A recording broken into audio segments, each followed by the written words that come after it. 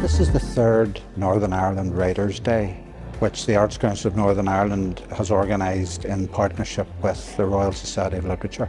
Talking in particular today about uh, writing for stage and screen. We had a workshop this afternoon which was taken by the writer and playwright Bonnie Greer with several emerging writers from Northern Ireland. This evening we're having a debate. It'll be chaired by Bonnie Greer and we'll have writers from here, Paul McVeigh, Fionnuala Kennedy and Stacey Gregg. Well, the scene is amazing. As we know, Ireland has a rich, astonishing history uh, of writing talent, uh, and we're always looking to find out what new voices we can support. So I think events like this really go a long way to build those bridges in terms of community and making sure that we advocate those voices.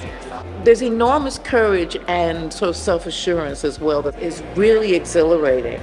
So because the rest of the world is looking in at, at, Northern Ireland all the time, now these eyes are looking out and looking at them from a, from a particular perspective. I think this is a massive endorsement. The hope is that we're shining a light on the talent from Northern Ireland. We've previously worked with poets and children's writers and Irish language writers and novelists, crime writers, and now this one is on stage and screen. So we really are covering every corner of um, the Northern Ireland writing world, and it's, it's a very exciting time, I think. What's interesting about everyone on the panel is that there's a you know everyone sort of has put their hand to different forms of creativity uh, and I'm always interested in the cross pollination of those platforms. I think we're set for a really interesting conversation.